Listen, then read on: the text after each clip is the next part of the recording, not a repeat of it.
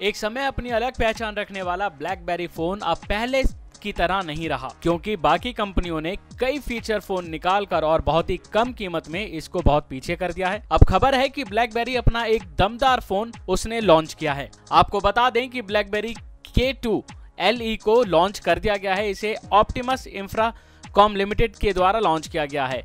ग्राहक के two L को एक्सक्लूसिव तौर पर अमेजन इंडिया की वेबसाइट से खरीद पाएँगे। और जो आपको 12 अक्टूबर से मिलना शुरू हो जाएगा।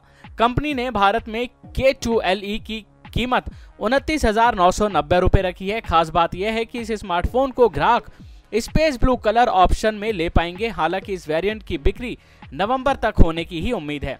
फ़ोन के बारे में बताएँ तो सिंगल डुअल सिम ब्लैकबेरी के टू एल एंड्रॉइड 8.1 ओरियो पर चलता है और इस स्मार्टफ़ोन में चार जीबी रैम और चौसठ जीबी स्टोरेज के साथ क्वालकॉम स्नैपड्रैगन 636 प्रोसेसर दिया है, जिसे आप कार्ड की मदद से दो जीबी तक बढ़ा भी सकते हैं। नेक्स्ट एंड टैक के लिए राशिद अली की रिपोर्ट